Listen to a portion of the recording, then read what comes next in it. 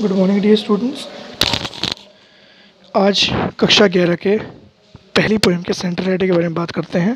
Question देखो लिखा हुआ है write the central idea of the poem a photograph write the poem photograph has been compose by Shirley Toulson जैसे कि मैंने कल आपको बताया था, इसकी जो लेखिका हैं, वो एक महिला हैं the central idea of this poem इस पोएम का जो सेंट्रल आइडिया है, यानी कि सारांश है इज़ दैट की a photograph has been described एक फ़ोटोग्राफ का इसमें वर्णन किया गया है हेयर यहाँ पर। हाउ इट वॉज़ ही कैसा था एंड हाउ इट रिफ्लेक्ट्स और किस प्रकार ये प्रस्तुत करता है the memory of the past बीत गए समय की यादगार को। एंड द टू गर्ल्स और दो लड़कियाँ हु आर बीइंग शोन जिनको इसमें प्रदर्शित किया गया है हैव ग्लिम्स इन इट उन दोनों की इसमें झलक है।